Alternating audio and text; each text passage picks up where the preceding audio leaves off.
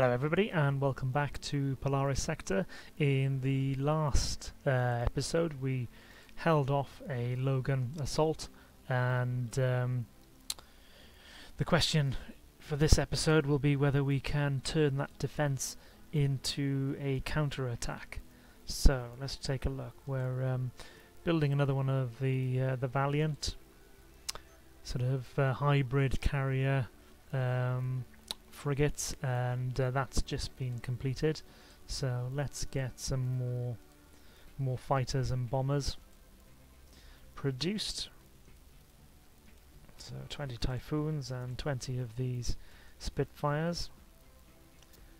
So we'll then have three Valiants here and with another with another two I believe it was back at uh, our original home world. So let's merge those fleets there and carry on.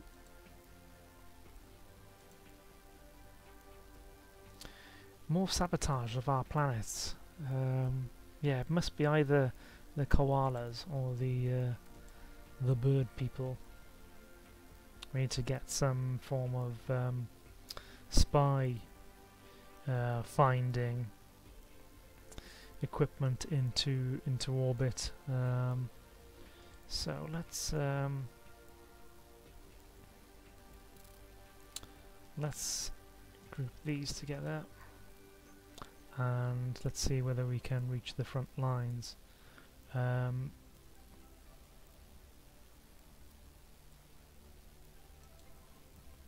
not directly, but maybe if we refuel here, we will be able to.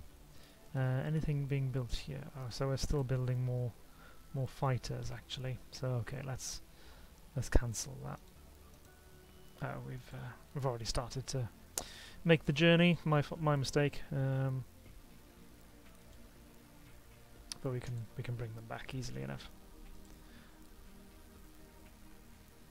A bulk transporter is uh, moving some defence stations into place. The defence stations in our last uh, battle uh, held up very well against the enemy fighter onslaught. Um, the laser batteries doing uh, doing good work and allowing our uh, our fighters to operate under under their guns, um, under their sights, and it um, yeah they they did very good work indeed.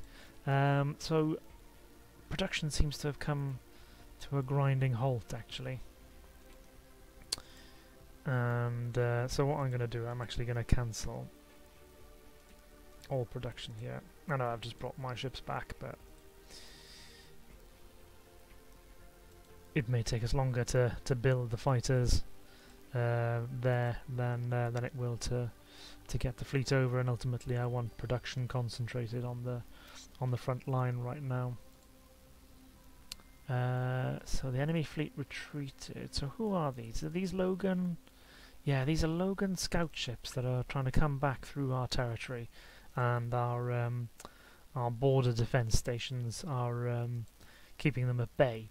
So uh, gravity resonance tank, uh, basically better better fuel capacity, which is uh, which is always always good in this game, um, which it can turn into sometimes a little bit of a logistical little bit of a logistical nightmare.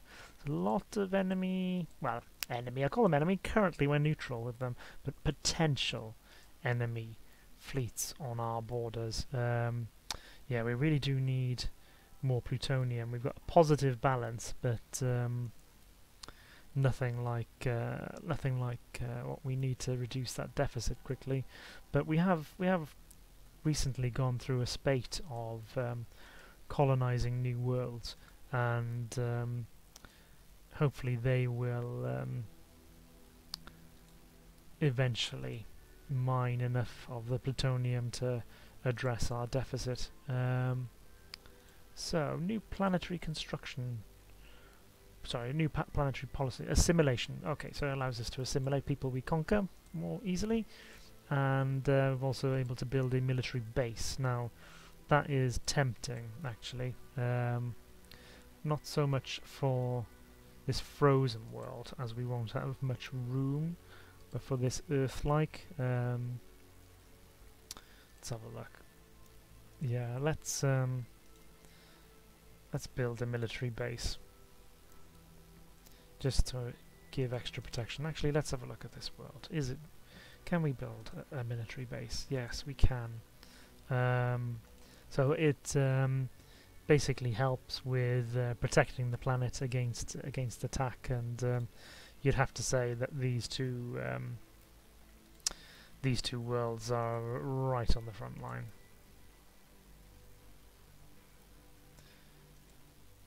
So, how is production coming? Slowly, slowly.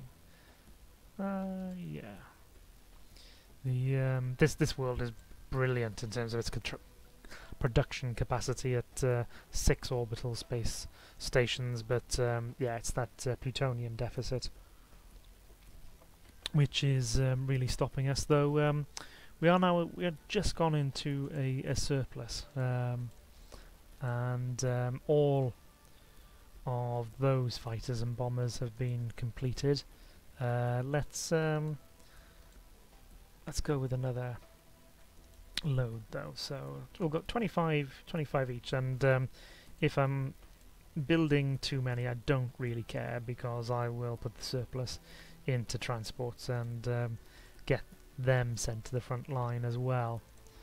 Um, and once we've got our um,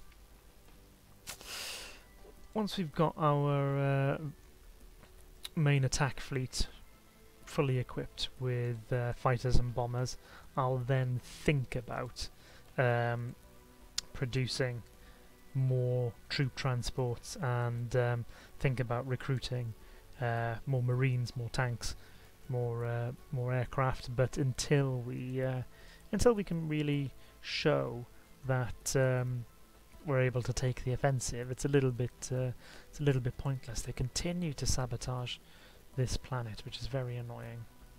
Um, but it will it will take away production resources from this front line if I um, really want to address the enemy spy ships. Uh, we may we may have to anyway, um, depending on the damage they start doing to us. But um, yeah, the plutonium deficit is still slowing us down.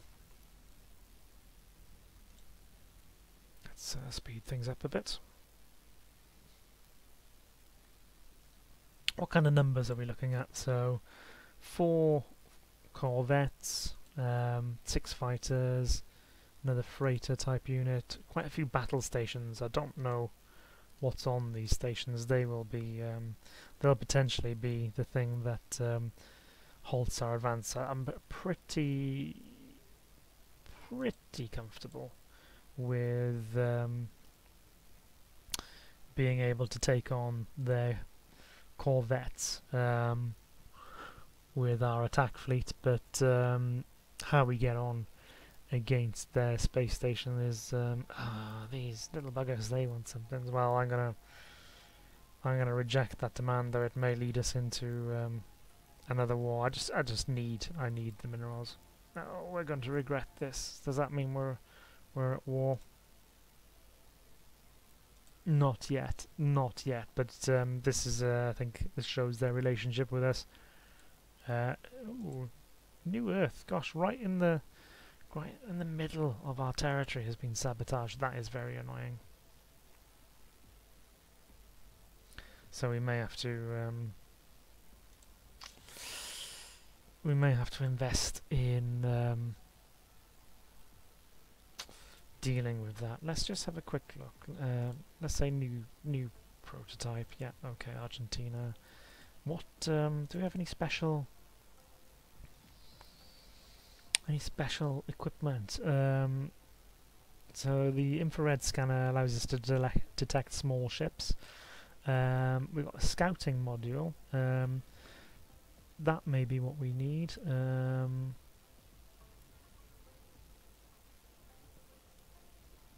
Yeah, possibly, possibly. Is that what we use to detect? Uh, well, it gives passive spying, so Uh, I don't really see that as being necessarily what we need. Hmm. Let's exit that and then delete delete that design as it's uh, an empty shell. So I know, I'm pretty sure these this covert freighter can detect other can detect enemy ships. So maybe let's um let's build two of them. see whether we can stop the instances of, uh, at least stop their, their ships from coming into our space at will. And um, now then, let's merge these fleets together. Do we... Well, hang on, I was going to say do we have the range to get there, but first of all, let's make sure our hangars are full. So that one's full, full, full, full, full, and with some fighters left over. Okay. And uh, no, we're struggling. Why is it saying no route explored? The route absolutely is explored. Hmm. Do we have any other fuel? Transport.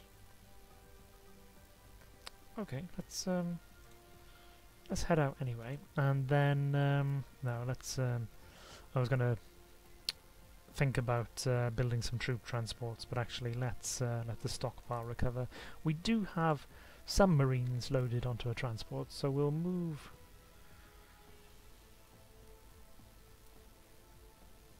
We'll move that to the front line anyway. We may need to do some logistic shuffling with our um, our fuel haulers, which uh, we do have some fuel haulers now back at um, back at our home world, and um, I'm wondering whether what we do is we split one off, and we use the other to move these older carriers up to the front line, just um,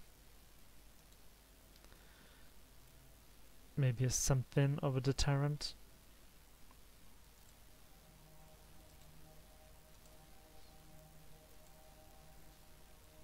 I don't have much confidence in their ability to actually hold up against a, a concerted attack.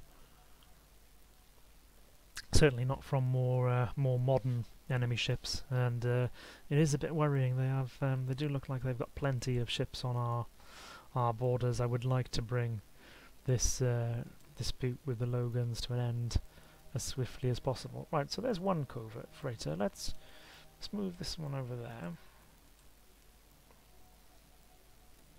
I want to know who's actually um, who's committing these uh, these sabotage operations against us because it might at least inform us as to who's likely to to come for us next.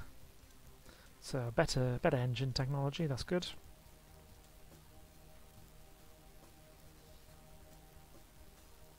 And our fleet is still making progress towards its uh, destination. Not enough fuel, but can the... Ah, so the fuel hauler has run out of fuel. Hmm. Now, if I split out the fuel hauler, I would have thought the actual warships, yeah, they've got enough to um, make the jump now then, there's a battle all the way over here, and um, the enemy fleet was destroyed. That's presumably the scout that was uh, trying to get back through our space in order to um, refuel. Okay, so this transport has arrived. Let's keep uh, moving around. And uh, these fleets, are, this fleet is now refueled. Okay, let's Let's see whether we can um, go on the offensive. The second uh, covert freighter constructed. Let's move this one out. Wonder whether it'll be able to take a little snapshot as it goes by about the enemy fleet. Keep calling them the enemy fleet. it's uh, because the conflict's inevitable in in my mind.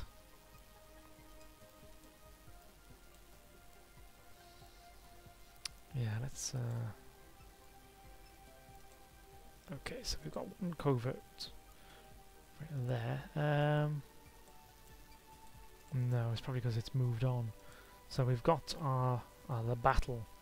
So 217 enemy fighters against 109 of ours. Um, oh, the covert freighter's been pulled in. That's a little bit annoying. Okay, well, let's um, let's take a look.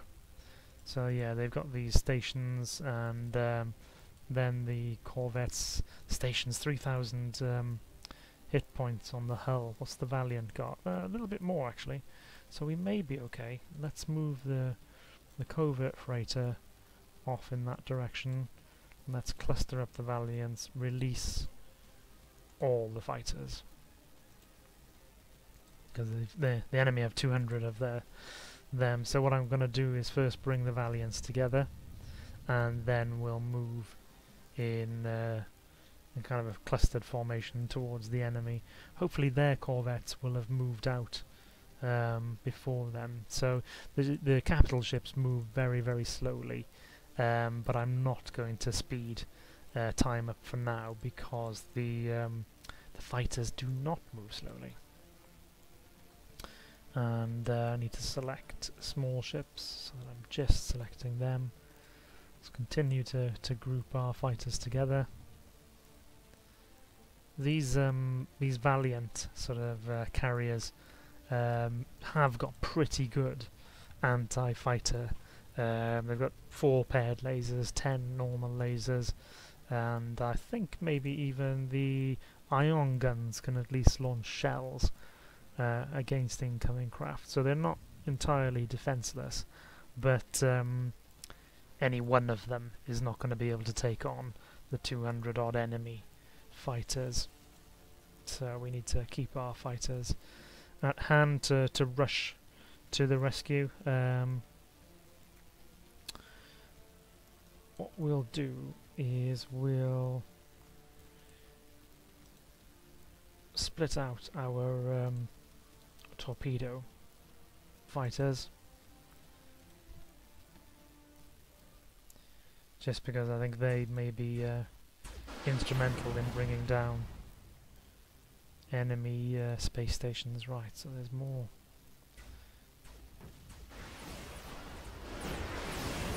They're um, they're coming in dribs and drabs against our fighters, but our fighters themselves are still a bit strung out, which I don't really like. Now, from memory, the Valiants do have um, repair facilities in their hangars. Um, it was one one advancement I think we did um, go with, so um, might be able to repair some fighters if they if they survive. But um, getting um, getting overwhelmed a bit.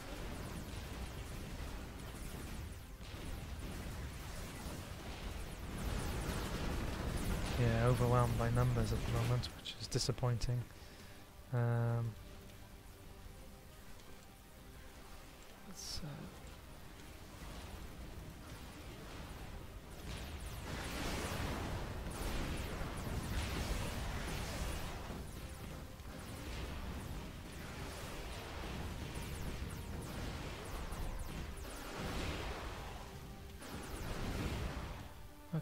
we've seen some off. Let's order them back to the hangars. There is... Ah, I'd missed the fact that this Valiant was under attack. Um, yeah, I better bring these. Oh, gosh, they're already it's tied up with... Um, oh god. They really do have loads. We may lose a Valiant here.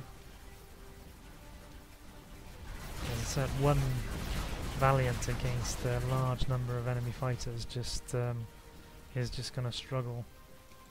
That's uh, yeah, just overwhelming numbers. Damn. Oh, that's a painful loss. Um, yeah, late later on we'll have the technology to jump in in formation, and so um, can minimise those kind of losses, but um, at this stage in the game, we we're at the mercy really of where we um, of where we jump in. Uh, let's turn the Valiant to keep uh, keep these fighters in its uh, in its main firing arcs. Typhoons may be able to do some um, some work, at least perhaps at least perhaps uh, act as shields to protect this Valiant. And uh, yeah, that um, that worked better, or at least seemed to.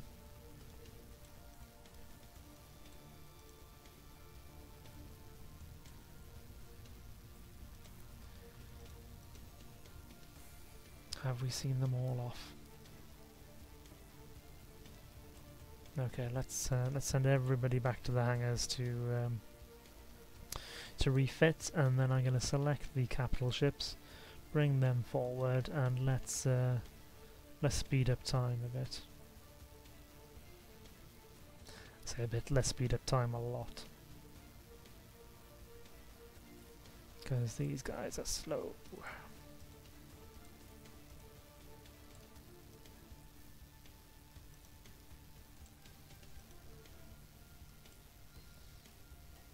Okay, let's um, let's release all the fighters and um, what are these armed with? These are heavy ion guns and fireball emitters. I think we enjoyed quite a lot of success against them in uh, previous battles. So let's collect our bombers together. Yeah, all of you, all of you. Why are why are you not being selected? Oh, because I've got capitals right. All of you up here. Let's get everybody clustered together. I wonder whether uh, they'll reach the Valiants before uh, I can get my fighters organised. I wouldn't think so. Um, so I'm hoping we take out these uh, these various corvettes. So they're corvettes. They seem to have um, different designs, and um, they are travelling at different speeds, which means their formation is broken up, so that could be particularly helpful for us.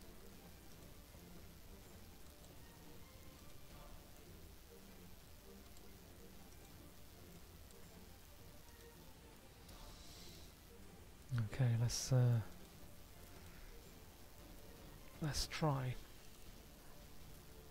Should we put them in a in the hammer formation? And see whether we can take out this corvette before it even reaches our uh, our capital ships. Does feel good to be on the offensive. Um, whether our offensive will be successful or not is still in question, but it does feel good to be dishing out some pain. Finally, after all of the uh, all of the setbacks we've had. That was the Spitfires then providing escort to the Typhoons, which uh, seemed to work very well. And will we bring down this? Yeah, another one down. Let's um, finish off this first wave. Brilliant. And then let's get back to the hangars for refitting and resupplying and I'll speed speed things up a bit. This um, this Corvette is just armed with plasma missiles, so it will not be effective at all against um, our Valiant. So I'm thinking that actually the um, the approach here should be to advance our capital ships. These Typhoons obviously uh, were housed in our um, in the Valiant we lost, which is which is very disappointing. Also, these corvettes are armed with lasers and plasma missiles, so they may not be the um, they may not be best suited to taking on these valiants. Um, no, but we do need to try and uh, get them within our firing arcs. So this valiant dishing out the pain. Oh yeah, lovely, lovely, lovely, lovely. So let's keep uh, let's keep going on. Speed up time because uh, yeah, these capital ships are slow keep the typhoons moving up.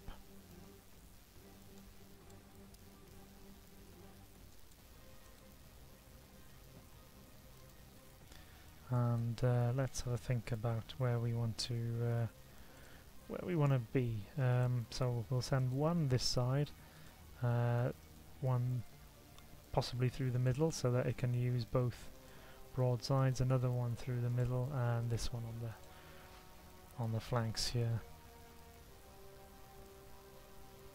And obviously, a bit of bunching has caused uh, these to to mess about a bit, which is a little unfortunate. We're going to need to turn here. Let's look at, uh, yeah.